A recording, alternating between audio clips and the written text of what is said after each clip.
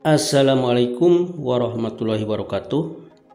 Pembangunan Jalan Tol Getaci, segmen Gede Bage Garut Utara, melewati tiga kabupaten atau kota, yaitu Kabupaten Bandung 392,68 hektar dan Kabupaten Garut 258 hektar dan Kota Bandung seluas 28,1 hektar yang terletak di Kelurahan Rancabolang, Kecamatan Gedebage.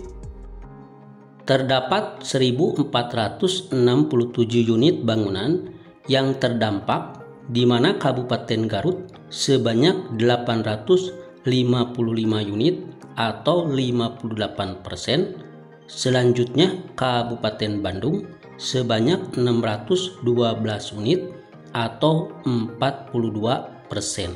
Sedangkan kota Bandung tidak terdapat bangunan yang masuk rencana tol. Dari 45 desa yang akan dilewati jalan tol Getaci, terdapat satu desa di Kabupaten Bandung dan satu desa di Kabupaten Garut yang sampai saat ini masih dalam tahap penilaian Satgas A dan Satgas B. Artinya, belum beranjak ke tahap berikutnya. Sementara desa-desa lainnya di tiga kabupaten tersebut sudah ada yang masuk tahap pembayaran UGR, musyawarah UGR, dan pengumuman danom serta peta bidang.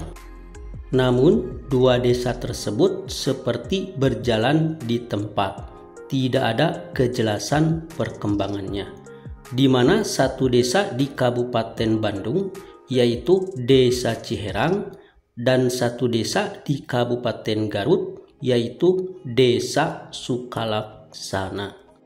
Mimin berusaha mencoba menghubungi beberapa pihak terkait tentang kejelasan kedua desa itu. Namun jawabannya hampir sama, masih dalam proses kelengkapan data. Mimin berharap dua desa tersebut segera mengumumkan danom dan peta bidangnya supaya warga terdampak di kedua desa tersebut mendapat kabar kepastian. Desa Ciherang sendiri merupakan salah satu dari enam desa di Kecamatan Nagrek, Kabupaten Bandung yang akan terlintasi jalan tol Ketaci segmen Gedebage, Garut Utara.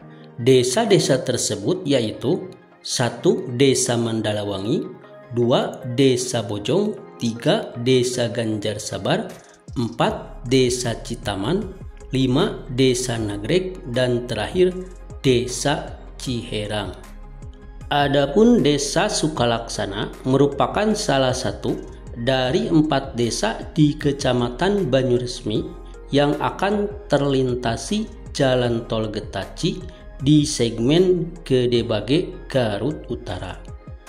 Desa-desa tersebut yaitu Desa Sukalaksana, Desa Sukamukti, Desa Pamekarsari, dan Desa Sukaratu.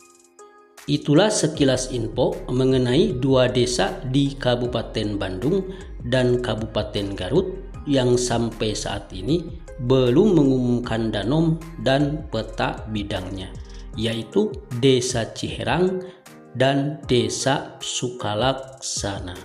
Assalamualaikum warahmatullahi wabarakatuh.